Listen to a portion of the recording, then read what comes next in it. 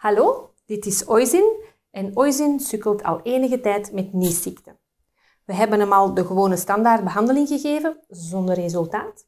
We hebben ook al een cultuur laten aanleggen, ook zonder resultaat. Dat is helaas heel frustrerend voor eigenaar en ook voor de dierenarts. Dus is mijn vraag, wat kunnen we nog doen?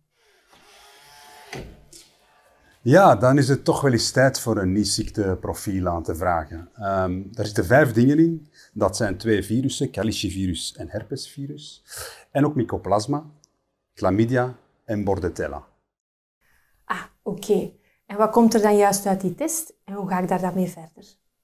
Wel, je krijgt een negatief of positief resultaat voor elk van de vijf uh, pathogenen die er eventueel in het staal zitten. Uh, enerzijds heb je een diagnose. Hè, je kan dan eindelijk een keer bewijzen dat er iets aan de hand is en wat precies. Tegenover bepaalde uh, aandoeningen kan je heel gericht behandelen. Hè, chlamydia bijvoorbeeld, of bordetella, mycoplasma ook. Uh, en herpesvirus ja, kan je ook eventueel gerichter behandelen of je de noodzakelijke quarantaines instellen. En welke stalen heb ik dan nodig en hoe nemen we ze juist af?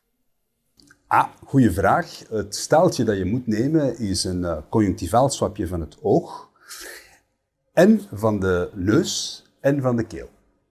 Oké, dan sturen we het staal nu op.